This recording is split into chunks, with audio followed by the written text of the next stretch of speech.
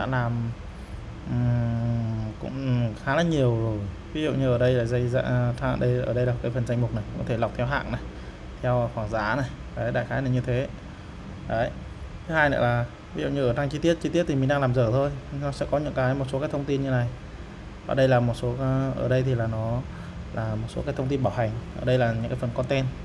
Content và sau đó nó sẽ có những cái sản phẩm kèm theo. Nó giống như kiểu như là nó giống như một phần của thế giới di động ấy. Mình đang làm ná ná, nó giống như của thằng thế giới di động ấy. Đây, nó cũng sẽ giống, đây, thông tin chi tiết. Nó sẽ có thông tiết thông tin chi tiết như này. Nó sẽ có vào một số cái thông tin như này. Đây. Và ví dụ như sẽ có một số các thuộc tính của sản phẩm như này. Ở đây thì admin thì hiện tại cái luồng admin của mình cũng đã, mình cũng đã làm gần như là hoàn thiện rồi. Bởi vì, đây đây ví dụ như ở đây admin của mình có sẽ gì? Thông tin tài khoản đăng ký mới nhất này thông tin đơn hàng mới nhất này. Rồi là gì? Quản lý từ khóa danh mục sản phẩm đấy.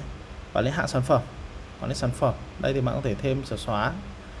Cũng như là đối, đối với phần bài viết thì mình sẽ có những cái à, đây như bài viết thì có những cái bài về review về công nghệ. Đấy chi tiết. Đây thì mình cũng đã có hết nội dung tất cả các thông tin đây, bạn biết toàn bộ dữ liệu thì nó sẽ đều có thể là thêm sửa xóa và cập nhật. Đây là phần quản lý thành viên, cũng như là quản lý đơn hàng và duyệt đơn hàng.